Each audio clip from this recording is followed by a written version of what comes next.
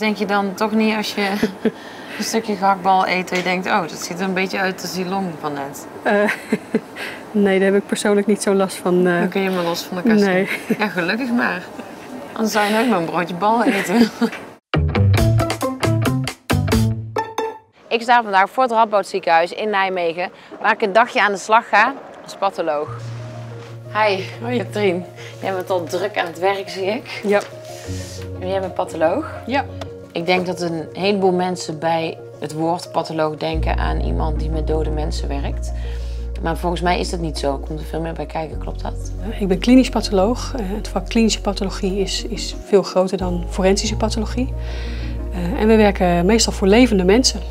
Mensen die, eh, die een ziekte hebben of een vermoeden op een ziekte. En als je wil weten wat het is, dan heb je soms een patholoog nodig om de diagnose te stellen.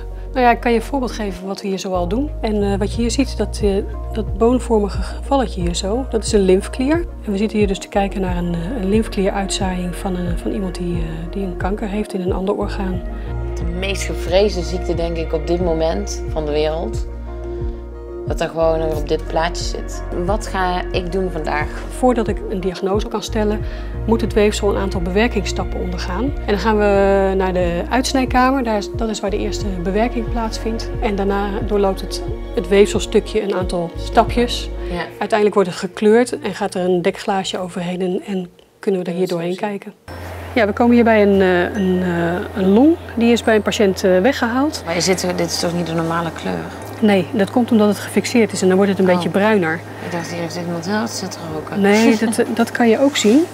Maar dat zie je op de buitenkant. Dat is dat, die, die zwarte tekening die je hier eigenlijk ziet op de buitenkant. Waar zie je nou de kanker? Dit vaste is kanker. En dit eh, sponsige is eh, longweefsel. En je ziet hier ook dat, die, dat het, de gaten van de spons echt nog wat groter zijn. En dat is het effect wat je van roken dan eh, ziet. Hè. Dat zijn de, het, het, de emfysemateuze afwijkingen, het, het longemfyseem. Denk je dan toch niet als je een stukje gehaktbal eet en je denkt, oh, dat ziet er een beetje uit als die long van net. Eh, nee, daar heb ik persoonlijk niet zo last van. eh. Dan kun je maar los van de kast Nee. Ja, gelukkig maar. Anders zou je nooit maar een broodje bal eten. Ja, deze patiënt heeft urenlang op de OK-tafel gelegen Ja. en die wordt straks wakker en die eh, hoopt heel snel te weten. is, het, is de tumor eruit en er zijn er eventueel uitzaaiingen? En, en ja, daar doen we dan ons best voor om dat op tijd klaar te krijgen. En dan komen we hier op de ruimte waar het materiaal wordt ingebed. Dus we lopen hier nog steeds met die, met die lege cassette. Die, eh, We volgen het pad van de cassette. En hier maken we er zo'n eh, ja, zo'n paraffineblokje, eigenlijk een kaarsvetblokje van. Hè? Waarom moet dit nou hard worden? Zodat je hem mooi kan slicen straks. Omdat je hem kunt, dan kunt, pas kunt snijden. Een beetje net zoals zo'n zompige, zo'n zompige kaas. Die kun je ook niet goed schaven, Ja. toch? Jonge Ja. kaas, ja.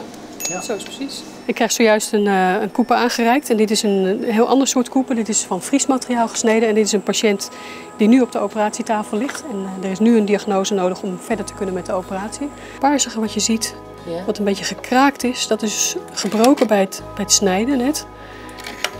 En dat is geen tumor. Dus wij kunnen nu de chirurg gaan bellen dat, eh, dat hier geen tumor zit. Nou, dat is wat bindweefsel met wat verkalking erin, maar geen tumor.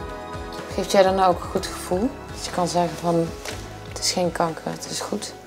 Ja, dat het natuurlijk. Ja. Blij voor de patiënt. Een oase van rust hier. Ja, dat is ook belangrijk, want eh, hier worden de, de blokjes die we net gemaakt hebben, die worden hier gesneden in die hele dunne plakjes. En je wil dus deze cassette, er zit materiaal in van één patiënt, maar je wil dus niet het plakje van deze patiënt op het glaasje van de andere patiënt. Nee, dat is Dus onhandig. je moet hier Ja. rustig en geconcentreerd kunnen werken. En dat is eh, wat je hier ziet. Ja, als je zo'n lintje op een glaasje plak- plakt, dan heb je een perfect weefselstukje, maar het is helemaal doorzichtig. Je ziet er niks aan. En door die specifieke kleuringen erop eh, toe te passen, krijgt het een kleur en ga je structuren herkennen. Dus eh, als het objectlijstje hier uitkomt, dan is hij klaar. Als hij hier uit deze machine komt, is hij, is hij klaar. Dan maak ik een verslag. En dat verslag gaat terug naar de, naar de dokter die het heeft aangevraagd. Eh, en eventueel komt het nog in een multidisciplinair overleg, hè, waar ik dan bij ben om te vertellen wat ik ervan vind. Eh, en samen met de radioloog en alle andere betrokkenen eh, maken we dan een diagnose en een behandelplan. Eh, dus dit is eigenlijk het, het eindproduct waar we ons, ons werk mee doen. Nou, als patholoog is duidelijk dat je natuurlijk geneeskunde moet studeren met specialisatie pathologie. Je moet volgens mij ook heel erg precies zijn. Maar je moet ook goed kunnen analyseren. En je moet eh, heel veel weten van pathologie. En een beetje kritisch zijn en, Ja. en zorgvuldig zijn. Dat is misschien nog wel belangrijker. Nou, het is leuk dat je gezien hebt dat het echt een, eh, een gezamenlijk ding is wat je maakt. Zo'n diagnose. En dat is eh, denk ik Ja. ook het mooie van ons vak. Ja. Alleen samen kom je tot, een, tot de, de beste diagnose voor de patiënt. De patiënt ziet ons nooit. Toch Nee, doen we heel erg nee. ons best voor de patiënt. Ja. Ja. Heel cool om dat een keer te zien. Ja. Ja. Nou, ik hoop dat je een beetje een indruk hebt respect voor jouw gekregen. baan, maar ook voor iedereen die hier natuurlijk eh, echt een beetje gaat over de gezondheid van, eh, van heel veel mensen.